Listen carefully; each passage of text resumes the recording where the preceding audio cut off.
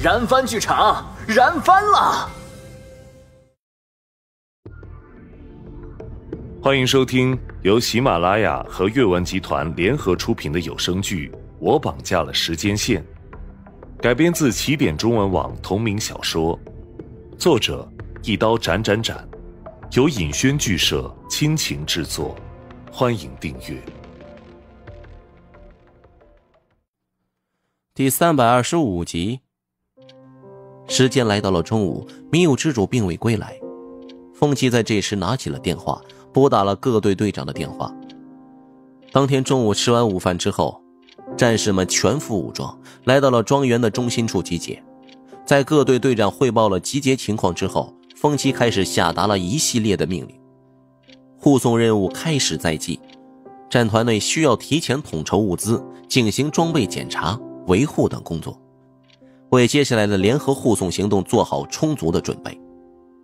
待各队队长带着战士们前去忙碌之后，风七在这时迈步走向了武器库，准备检查武器库的维护情况。募兵大厅，会议室，蓝白色调装饰的空间内，摆放着一张金属打造的大圆桌，一共有三十个席位，一上午的等待。参与此次联合行动的战团已经基本到齐了，一共是十五支战团，其中许多都是从其他的前线补给区特地赶来的。坐在主位上的吕铎在这时看了眼手表，随后望向在座众人，开口道：“在机场的小虎给我打过电话了，黎明战团的人已经来了，他们刚出完任务就紧急赶过来了。”大家稍安勿躁。听到这番话，在场的众人表情如常。对于这种情况，他们早已习以为常。有时候紧急的联合行动任务都是这般，许多战团才刚回到驻地，又紧急着赶往了下一趟任务行程。就在这时，会议室大门被推开了，穿着白色战袍的穆晴在这时到来。进门之后，他的目光扫过在场的众人。就在这时，他的目光汇集在了迷雾之主身上。他觉得此人的气息似乎有些熟悉，但却怎么也想不起来在哪儿见过。佩戴着面具的迷雾之主顿时感觉到了一股恐怖的威压席卷而来，但是这股威压短暂的停留之后就消散了。这时候的迷雾之主心中甚至做好了强行突围逃跑的准备。夺取血石的第一关就是木星。如果穆青认出了他的身份，那么后续计划也就没有再继续进行的必要了。至于王毅这个身份，自然也得抛弃。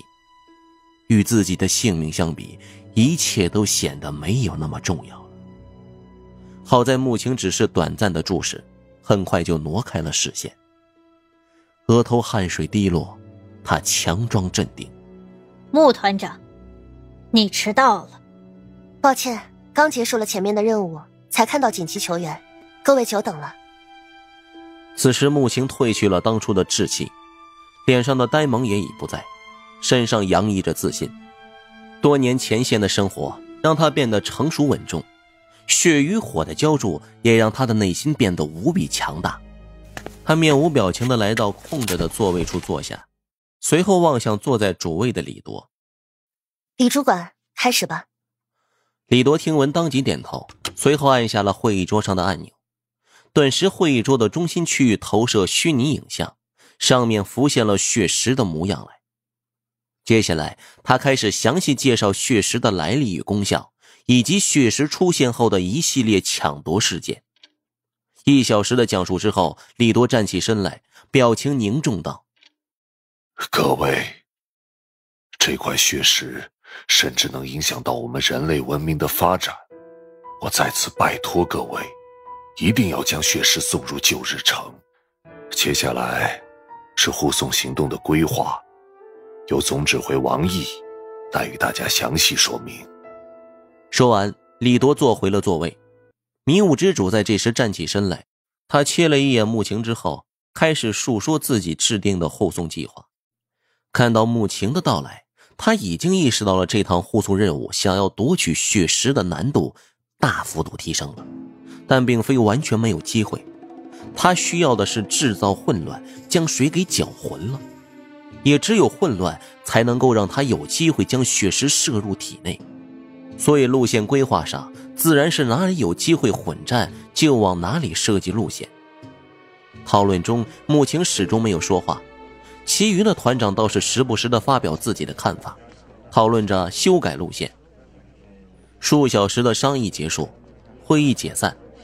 走出会议室之后，迷雾之主正准备折返庄园，这时候身后有声音叫住了他：“王毅团长。”他在这时缓缓的转身，当看到穆晴微笑的站在自己身后。他的表情瞬间凝固了。有事吗？迷雾之主强装镇定道：“王毅团长，我们在之前的联合行动中有合作过吗？”“没有。”迷雾之主语气平淡，丝毫看不出紧张。“啊，是我搞错了，不好意思。”穆青在这时点头抱歉道，望着迷雾之主转身离去的背影，穆青的眼中浮现了一抹疑惑。王毅身上的气息总让他感觉到似乎在哪儿见过，却怎么也想不起来了。思索片刻，他不再细想，离开了募兵大厅。两天后，今天是护送任务开始的日子。天还未亮，风起与迷雾之主一早就集结了战团人员，开始搬运物资、装备。忙碌许久，伴随着迷雾之主下达命令。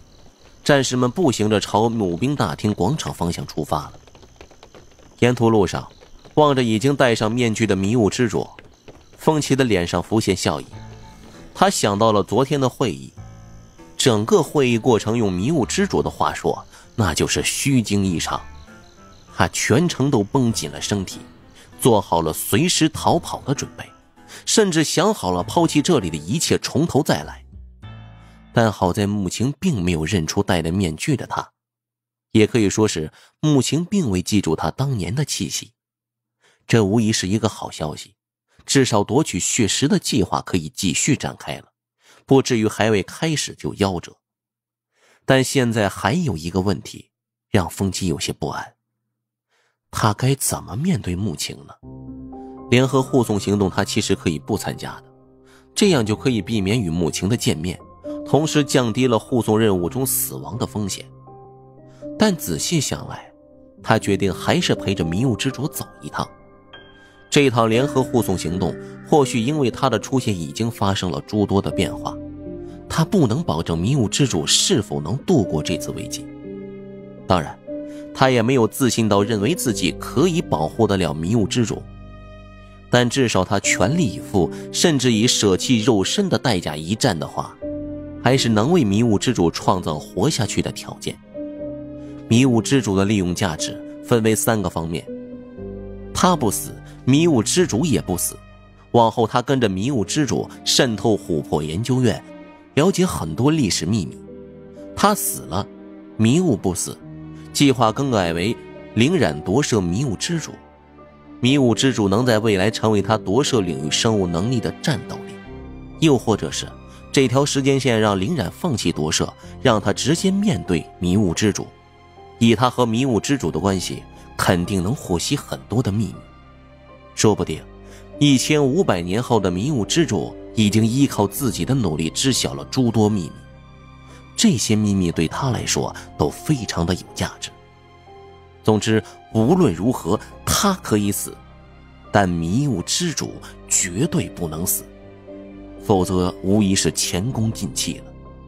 他死不死，迷雾之主都有对应的利用价值，所以即使是豁出了性命，他也要保证迷雾之主的存活，给另一个他创造有利的情报，亦或是价值。想着心事，他来到了募兵大厅前的广场。此时，一辆辆提前来到的军车已经在广场区域整齐排列集结。此时的风气也与一众死星战团的战士们一样，佩戴上了黑铁面具，站在战阵中倒是不显得突兀，但他还是有些担忧自己会被穆青给认出来。就在这时，远处正在与各团长攀谈的穆青似有感觉，忽然转头朝他望来。短暂的对视之后，穆晴的脸上浮现了一抹疑惑。